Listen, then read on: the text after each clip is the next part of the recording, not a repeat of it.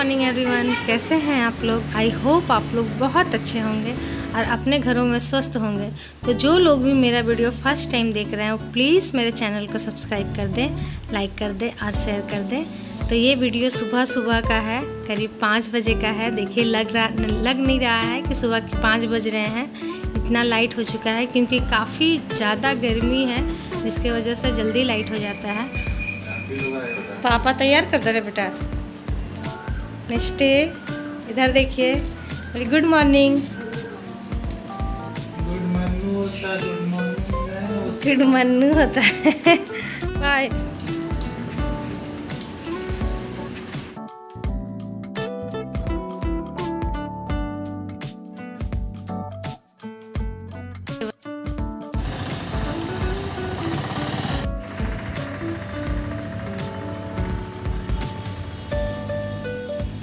हाय hi करिए good morning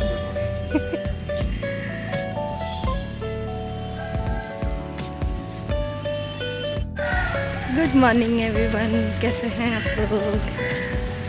सुबह सुबह साढ़े पाँच बजे का वक्त है ये। तो बच्चे चले गए स्कूल हस्बैंड चले गए ऑफ़िस उसके बाद मैं नहा धोआ कर आई थी नाश्ता लेने के लिए, लेकिन मेरा मन नहीं किया रोटी खाने का। तो मैं फिर बोली कि चलो सत्तू घोल कर ही पी लेते हैं। तो जैसे ही मैं पी ही रही थी, उसी वक्त आ गए गैस वाले भैया और वो फ़ोन कर रहे थे और शायद दूसरे रूम में तकिया के नीचे मेरा फ़ोन रखा हुआ था। तो फ़ोन मुझे सुनाई नहीं दिया तो वही बोल रहे थे। तो खैर चलिए। तो सब कुछ करने के बाद अब मुझे समझ में नहीं आ रहा था कि मैं क्या बनाऊँ क्या बनाऊँ। और हम लोग का रोज़ का यही प्रॉब्लम ही होता है कि हम क्या बनाएँ। पर डे का यही होता है आज क्या बनाएँ, आज क्या बनाएँ? सुबह सोकर उठते के साथ नाश्ते में क्या बनाना है, लंच में क्या बनाना है, डिनर में क्या बनाना है, यही हम लोग सोचते रहते हैं। तो आज कुछ मन नहीं कर रहा था दाल, चावल, सब्ज़ी खाने का। तो मैं सोची सोची कि चलो आज लौकी के कोफ्ते ही बना लेते हैं और इसके साथ खा लेते हैं हस्बैंड चावल दे देते हैं, पापड़, सलाद दे देने से ये खा लेते हैं। तो आज मैं लौकी के कोफ्ते बना रही हूँ। तो लौकी के कोफ्ते बनाने के लिए पहले मैं उसे अच्छे से छील कर धो ली हूँ और उसके बाद फिर कद्दूकस कर लेती हूँ। और कद्दूकस करने के बाद जितना भी उसमें पानी रहता है, उसे एक कटोरी में निकाल लेती हूँ। जितना भी मेरे में ताकत रहता है, सब लगाकर हाथों से निचोड़ कर अब है उसमें मसाले डालने की बारी तो मसालों में मैं डालती हूँ प्याज, हरी मिर्च, सूखी सूखी लाल मिर्च, फिर हल्दी और नमक। ये सब डाल देती हूँ और साथ ही मेरे पास थोड़ी सी जीरा भुनी हुई रखी हुई थी तो मैं उसे भी डाल देती हूँ क्योंकि उसमें स्वाद अच्छा आता है और साथ ही मैं बेसन भी डाल देती हूँ क्योंकि बेसन से ही बनाना रहता है मिलाकर। तो मैं दो से तीन चम्मच बेसन भी डाल देती हूँ और इसे अच्छे से मिलाकर फिर रख लेते हैं। अब अब ये मिल चुका है तो इसके बाद फिर इसे फ्राई करना है। तो फ्राई करने के लिए काफ़ी तेल गर्म होना चाहिए। तो मेरा तेल देखिए काफ़ी गर्म हो गया है, क्योंकि गर्म होने से क्या होता है कि लाल अच्छे तरीके से हो जाता है, फिर उसे मीडियम आँच पे मैं कर दूँगी कि वो पक भी जाता है, अंदर से अच्छे तरीके से पक भी जाएगा। तो इसीलिए पहले मैं हाई फ्लेम पे इसे पका लेती हूँ, उसके बाद फिर मीडियम कर लेती हूँ। तो यहाँ पर देखिए मेरा कोफ्ता बन गया है, अच्छे खासे पक गए हैं, अंदर से भी और बाहर से भी क्रिस्पी हो गए हैं। तो इन सभी को मैं निकाल दूँगी। अब इसी तेल में, इसी जो तेल बचा हुआ है, इसी में मैं दो आलू को छील कर काट लेती हूँ, क्योंकि सिर्फ़ कोफ्ता के साथ थोड़ा सा मैं आलू डाल देती हूँ। मैं अपने लिए ही डालती हूँ, क्योंकि मुझे आलू बहुत पसंद है। तो मैं इसमें दो आलू भी डाल दूँगी। और ये जब अच्छे से फ्राई हो जाए तो उसके बाद फिर मैं इसे भी निकाल लूँगी। तो देखिए, मेरी आलू अच्छे से फ्राई हो गई है। एक आधा सीज भी गई है मतलब आधा से ज़्यादा पक भी गई है ये।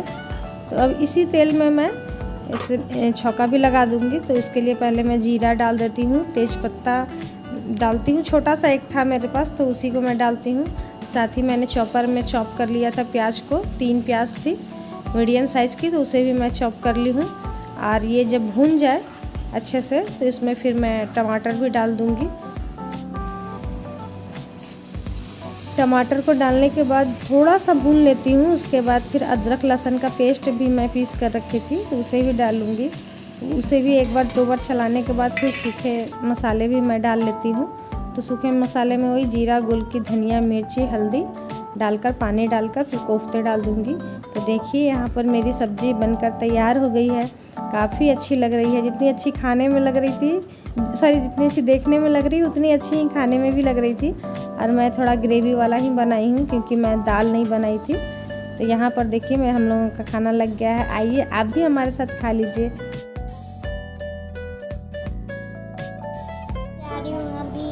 बाल कटवाने।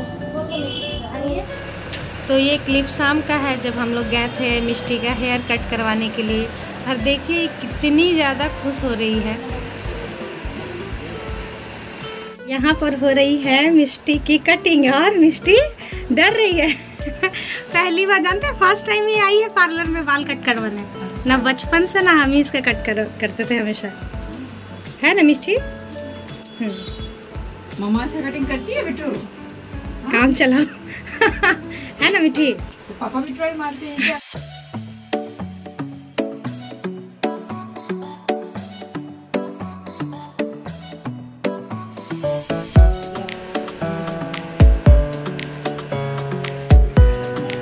मिष्टी कैसे लग रहा है?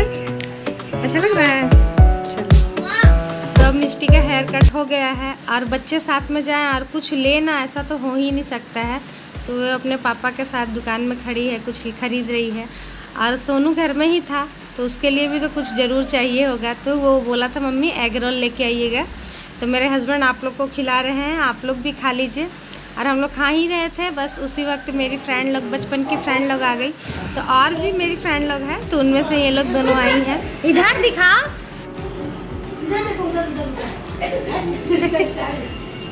थोड़ा कच्चा बादाम भी कर दो वो भी आ हाँ हाँ जल्दी जल्दी करो कच्चा बादाम पापा को दिखाना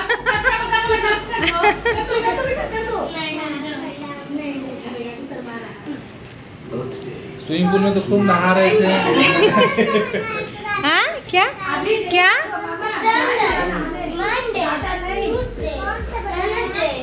देखिए ये लोग हैं मेरी बचपन की बचपन की फ्रेंड तो क्या हुआ? फ्रेंड लोग को जमाई लेते हुए ही लेना चाहिए। मारेंगे बस। मा- सब सोच में पड़ गई है। क्या कर रही नहीं है। ऐसा कुछ भी नहीं है। रदवा क्या कर रही है? मुद्दतों बाद हमारी तमन्ना पूरी हुई है कि हम तीन फ्रेंड एक साथ शादी के पंद्रह साल बाद हम लोग मिले हैं आज। मिले हैं। अपनी फीलिंग्स को मैं दबा तो इतने सालों बाद इन लोगों से मिलकर मुझे तो बहुत ही अच्छा लगा बहुत ही अच्छा लगा। तो अब ये लोग जा रही हैं क्योंकि रात हो चुकी थी। तो आज का ब्लॉग बस यहीं तक था। अगर आप लोगों को पसंद आया है तो प्लीज़ मेरे चैनल को सब्सक्राइब कर दें। तो आज के लिए इतना ही बस बाय गुड नाइट